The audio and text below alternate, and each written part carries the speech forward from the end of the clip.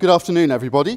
Um, so, a few years ago, I wrote a little paper with my co authors on the likelihood or not of dinosaurs being primitively feathered, and this is a, a kind of update to that earlier work. I can make the thing work. So, for about 25 years now, we've seen a step change in our understanding of dinosaurian biology and evolution.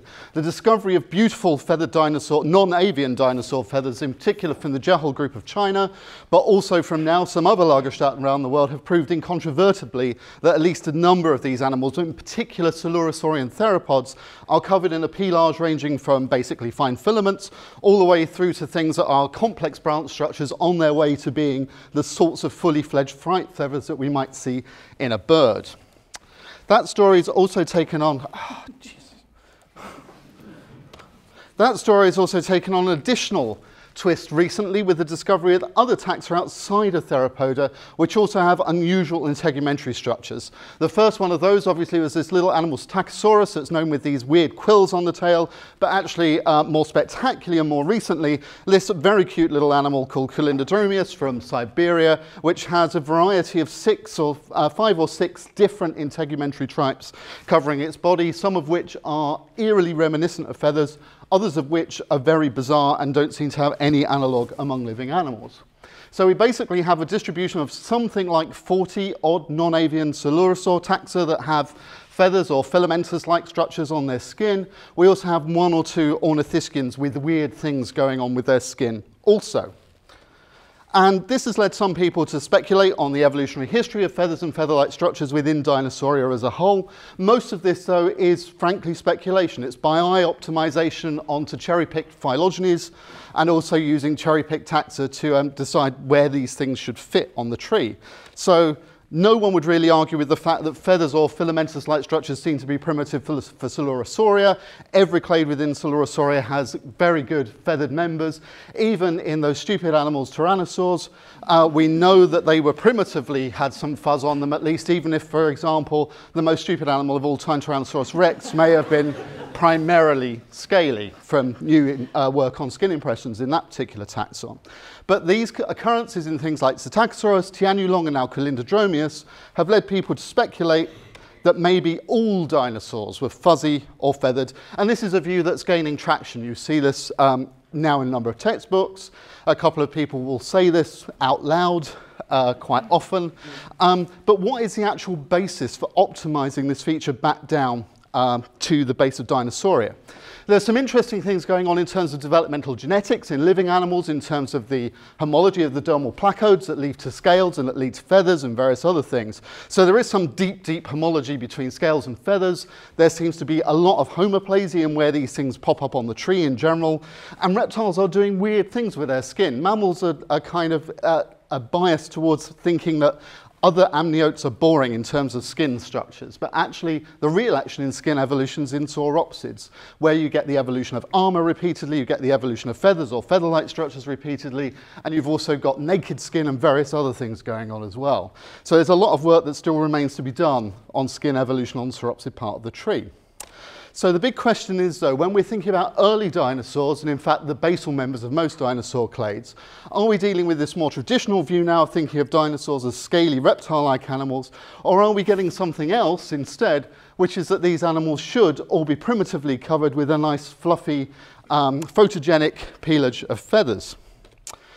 So in order to look at that, because as I said, uh, in 2015, uh, Dave, Nick and I published a paper in Biology Letters where we argued on the basis of empirical data, dread the thought it's actually based on real data rather than inferred, hoped for data, um, and we suggested that dinosaurs are not primitively feathered or scaled on the uh, basis of basically maximum likelihood optimizations of those, optimizations of those characters and ancestral state reconstructions. Uh, but as far as I can tell, nobody either read that paper or they all disagree with it or they just don't like it. So uh, I basically decided we should go back and do this again. And this was prompted by an invitation from Molly Rauhut and Christian Foth, who are putting together a book on skin evolution. And so we thought that we should probably get around to doing something. So what we did was we took our original data set, which contains all known non-avian dinosaurs where we have some direct evidence of skin preservation. And that's slightly different from our original one just because of discoveries in between. There's a big caveat here. This represents only 7% of Mesozoic dinosaur diversity. That's only 7% of what we know about, and almost all of those instances are from the Cretaceous. We have almost no data from the Jurassic and no data from the Triassic. So those are two big caveats to bear in mind. We scored each of those taxa for the presence or absence of scales, filaments, and various complex, sorts of complex feathers. We treated those characters as binary or multistate. We had uh, crocs as an outgroup, which we didn't do before, so that was a change from the previous analysis. We also did something weird with pterosaurs. So although pterosaurs could be primitively scaly or could be primitively fuzzy, the jury is actually still out because there aren't that many pterosaurs that have pycnofibers preserved where you can actually get direct evidence of what they look like. We also included a new character state for pterosaurs just to annoy Dave Unwin, which is called naked, because we thought Dave would like there having a character state that was slightly risque. and risk, naked simply means they have, they have basically a leathery skin. They don't have scales or they don't have feathers. And we treated those three things separately also. And we also ran, given that for some reason there may be some bias in the uh, authorship team towards there being more than one dinosaur tree, we also ran them over different versions of the dinosaur tree, whether the traditional tree or the Ornithoscelidan one. So we did maximum likelihood reconstructions of ancestral character states for each of these in R. We scaled the branches in various different ways. Again, we played around with various permutations of that and different kinds of branch length method. We also applied for the first time several different types of models of character evolution to the data. So we looked at an equal rates model, we looked at an ordered models, an unequal rates model, and a very kind of extreme progressive model that pre prevents um, reversals, uh, a progressive model of evolution, just to see how well they all fitted the data. We looked at these different uh, things and compared them using non-parametric MANOVAs and see how these different effects might affect what's going on with the character optimizations. And we also, because one of the original criticisms of our first paper was everyone says, what happens if tomorrow we find a Triassic Jehol? And that Triassic Jehol has a bunch of feathered animals in. So we don't have a Triassic Jehol, uh, but we can make hypothetical animals of the right age that we can insert into the trees to see what effects they might have on these character optimizations and to give us some form of um, ground truthing, if you like, on how robust these kinds of conclusions might be. So the grand uptake of this with all sorts of different permutations of the different models, the way we treated the characters, the way we decided whether pterosaurs were scaly or naked or whether they had filaments uh, primitively and what happens with those hypothetical Triassic members of the clade was we ended up with 88 different model fitting exercises um, in total. And then we basically looked at different models of evolution and how they fitted those types of um, distributions. And we basically found that the best one based on the basis of AIC weights was the ordered model of character evolution. So most of the things I'm going to show you now in terms of results are based on that ordered model. So here are some of the results. And I'm just going to run through a few different trees just to give you an idea of what they look like. So these little pie charts are basically the uh, likelihoods of different types of ancestral character at each of those nodes. Uh, for ease of um, recognition, the red circles are scales, blues are complex feathers, sorry, green's complex feathers, and blue are simple feathers in general. So this is probably the most conservative optimization. This is the optimization that basically decides that pterosaurs are a scaly outgroup to dinosaurs. Uh, other than that, it's a fairly uh, vanilla version of the model. Two different versions of it run on two different types of tree topology. And under this particular optimization, you can see that dinosaurs, the, high, the, likelihood of them being scaled primitively is very, very high. Yes, it's obvious that kind of things like Theropods are feathered, uncontrovertible, uh, that they're going to be uh, feathered at some point in their evolutionary history. Theropods, oops, oh, now it works. Theropods are actually doing something uh, slightly different, a bit more ambiguous, possibly still scaly, because there are not so many Coelurosaurian theropods with any evidence of uh, integumentary structure, structures outside them, just one or two. So, and even with those three feathery ornithischians in the tree, it does not affect the fact that ornithischians would be, have a scaled ancestor. Instead, what it looks like is homoplasy. And actually, a lot of our results line up in the same way. And this is something we speculated on in our 2015 paper, and we speculate on a bit more with a bit more evidence in the paper that we have in Press in Ollie's volume, and it looks to us very much like those features that we see in ornithischians are not necessarily true feather homologs. They could just be other experiments in playing around with integumentary structures. In the same way that if you look at squamates, for example, they don't all get covered in nice pebbly scales. Some of them have long fringing scales, some of them have brush-like scales. They play around with scales. So it could be that some of these things are not really genuinely anything to do with the feather story, but merely other inventions of uh, integumentary structures that they're just inventing on, on, the, um, on the sly. So I had a lot of coffee today, if you haven't guessed that.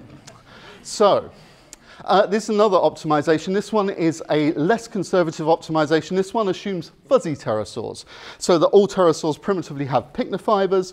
And you can see again, if you look at those, uh, there is a bit more support for having a feathered or filamentous ancestor for Dinosauria, but it's actually not that high. It's actually still very low. And that's despite the fact we are now trying to force that character down the tree, uh, down these branches and try and recover something that might be a fuzzy dinosaur ancestor. But even having a fuzzy pterosaur doesn't do that. It doesn't really optimize those things further down. And again, despite having all three fuzzy ornithischians in there too. So this is a summary of the various permutations we did that excluded the hypothetical taxa. And what we're looking at here are box plots for each of the two alternative topologies, and each of those little categories along the bottom refers to one particular node on the tree, so dinosaurs, ornithischians, theropods, coelurosaurs, so on. And what you can see is that when we look at the dinosaurian plots, regardless of tree topology, scales are definitely winning. It's only when we look at theropods and coelurosaurs that we see something a bit more ambiguous for theropods, and then we see a more definite bias towards uh, feathers for coelurosaurs, the latter being effectively a no-brainer. So what happens when we start thinking about our theoretical Jehol Lagerstätten that are still unfortunately undiscovered but would genuinely be very helpful in resolving this question? So again, this is now comparing not two versions of the dinosaur tree, uh, just because we think the traditional tree deserves some airtime, we just uh, use these ones to illustrate the point here, but we have got the ornithodira versions too. But this is between, again, in this case our permutation is changing the skin condition in pterosaurs, and this is what happens to those figures when we decide to add in a Triassic ornithischian with feathers. Uh, so what happens when we have a scaly pterosaur is that not a lot happens. We still have a prevalence of results that suggest that actually at the base of the tree, scales are still primitive, even if we have a Triassic feathered ornithischian. However, that flips on a coin when we look at uh, adding in a feathered pterosaur, and then suddenly that situation almost exactly reverses. And instead, this is the first time we actually start to get support. But this is adding in a taxon that doesn't yet exist and may never exist, but this is one way of forcing dinosaurs to do it that overturns the actual empirical evidence. What happens if we add a Triassic feathered theropod instead? Well, actually, if we do that, almost nothing happens. Certainly in terms of having a scaly pterosaur, again, no change. And although there's a bit more support for having a feathered uh, dinosaur ancestor, primarily due to having something that's much older, pulling those likelihoods further down, we still end up with more support for a scaly um, ancestor. So the most extreme example let's have three hypothetical animals from this um, biota, including which would be, for example, the first ever feathered sauropodomorph. Um, so not only would it be a Triassic feathered one, but it would just be, uh, this would be a nature paper. If you guys find that animal, I called it here, I want an authorship. I don't care where, uh, but I want an authorship if you do find it. And Sauropodomorpha, incidentally, the one, the one dinosaur clade for which there is nothing. But equally, there aren't that many skin impressions for sauropodomorphs in general either, to be fair. But this is the case where finally, finally that dream comes true of making all dinosaurs feathered. But to do it, we have to go out and discover three animals that don't yet exist from a deposit that hasn't yet been found. So as at heart, I am an empiricist, possibly because I'm a simpleton, but I am an empiricist. I think we have to go with the data as they currently are rather than extrapolating beyond it because it sounds cooler, uh, which unfortunately seems to be the trap that a number of my colleagues have fallen into. So that brings us back to our original question. What should those early dinosaurs look like? And I would say if you read the balance of stuff that's going on today, a lot of people would be very happy with this beautiful picture by Mark where he um, blings up uh, Laquintasaura down close to the base of the Ornithischian tree.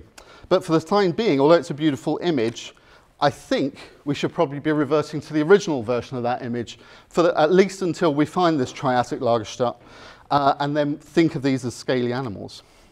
So there are a couple of um, things that people can argue against. One is taphonomy. Uh, it could simply be we haven't got the right taphonomic windows to really properly assess the distribution in dinosaurs. Not true, we do have windows that actually preserve these kinds of animals alongside feathered theropods as well. No evidence of feathers in most of these. And incidentally, as far as I'm aware, there's only like one specimen of several thousand specimens of Psittacosaurus that have quills. So it's not necessarily that widespread. Another thing is, and this is because, as you all know, Dave Unwin's a very lazy person. And he's never, no one uh, really in the pterosaur world has really had a look properly at uh, pterosaur skin evolution. It's partly because of a dearth of specimens, partly because of some, the, the way they're spread out and so on, but it could be there's actually something really interesting going on in pterosaur evolution. My suspicion for pterosaurs is actually they primitively lose scales and then become fuzzy later on. And they do something very weird in their skin evolution, which was also fit with other weird skin evolutions, things going on in sauropsids. So just to conclude very quickly, uh, at the moment, the empirical data on this do not support dinosaurs being primitively fuzzy. They're probably still scaled. That could change if we find an, a Triassic or an early Jurassic sauropodomorph or ornithischian that might change that pattern. At the moment, I don't think the taphonomic argument is particularly convincing. They're kind of just a straw man. Pterosaurs definitely need another look. It would be really good to pin down whether they're primitively fuzzy or not. And frankly, as I said, I'm an empiricist, so I'd rather see that we base our deductions on these animals on the evidence we have to hand rather than filling in gaps between things. So thank you very much.